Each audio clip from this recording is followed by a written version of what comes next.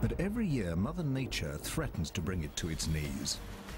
Tropical storms, raging rivers, massive floods. The solution is brilliant.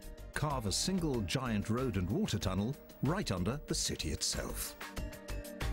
When rivers jump their banks, the tunnel's road decks will be able to transform into massive flood channels to carry the raging waters under the city streets, leaving the country's billion-dollar economy humming along above, high and dry. Build it wrong, and millions of dollars of property and the lives of hundreds could be at risk. It would be the first combined storm and traffic tunnel in the world, a model for other flood-prone cities. But the threats of sinkholes, massive mechanical failure and fire will haunt the builders of Malaysia's smart tunnel from day one.